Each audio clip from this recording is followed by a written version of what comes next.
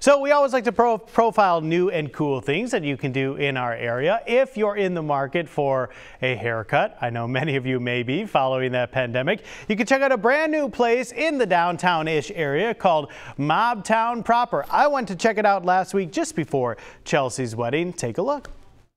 Here on South Ann Street in downtown Mobile to check out one of the coolest, newest hot spots. Is it a barber shop or is it so much more than that? It's called Mobtown Proper and they say this is the place to come to get proper. Let's go check it out.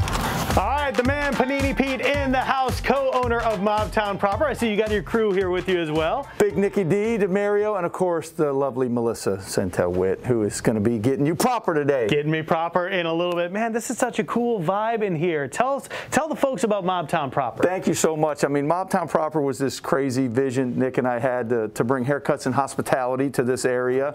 You know, we love things cool, vintage. You know, we've been to barbershops all over the world, all over the planet, doing research church, and we had a great building here that we have our offices in, and we said, why not kind of transition this into a cool new business? So you see, you got the great old brick. Yeah, the uh, it's from 1935. So cool. You got the exposed brick. We got all kinds of really cool vintage art. We got the great old jukebox machine, and then we weave in, you know, our our basically our approach to hospitality. So we've got beer and wine available. We do men's cuts, women's cuts, kids cuts, mm -hmm. the whole shebang. Um, we also bring in a little bit of gumbo days and beignet days and tie in some of the restaurant stuff. So we'll have food samples in here. We'll have tastings of different spirits and wine. And we want people to come by and get to know us. We'll be open late if they need a cut.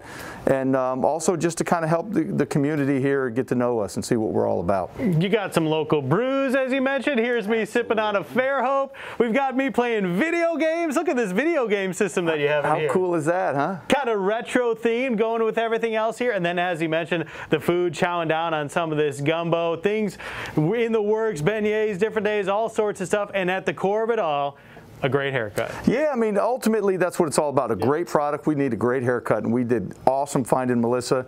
She's new to the area out of Atlanta, been doing hair for a long time. She doesn't like me to tell, but like 28 years. She's amazing. And um, then our approach is just a great environment, a great feel, great hospitality, great music, and then those extras of a little food and beverage, and uh, that, that smile when you come in, and that like see you see you next time, you know. Let me get in the chair and get this thing looking proper, You right? need to get proper, man. Let's, Let's go. You got to get proper, Joe.